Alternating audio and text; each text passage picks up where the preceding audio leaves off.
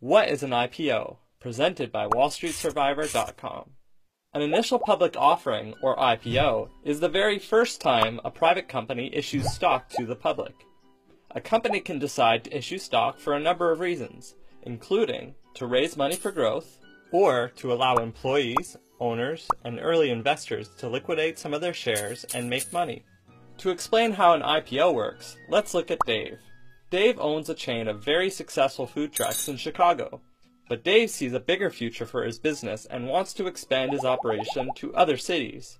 To do so, he decides to issue shares to the public to raise the necessary cash he needs to build more trucks, inventory, marketing, and staff.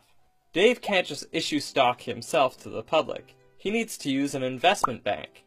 If the IPO is big enough, a company can use multiple investment banks. But since Dave's offering is small, he uses one, JP Stanley.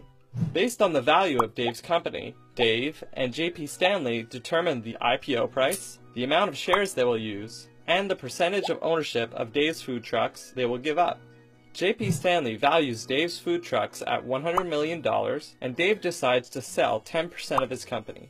10% of 100 million means Dave will be raising $10 million. The investment bank decides they will be issuing 1 million in shares to the public at $10 apiece. The investment bank then lists the shares on a stock exchange for the public to buy. Investors can now buy shares of Dave's food truck. In the late 1990s, IPOs really took off as technology startups were issuing stock and raising a ton of money extremely quickly. This led to the internet bubble, and subsequent collapse. You can buy publicly traded companies for free on WallStreetSurvivor.com.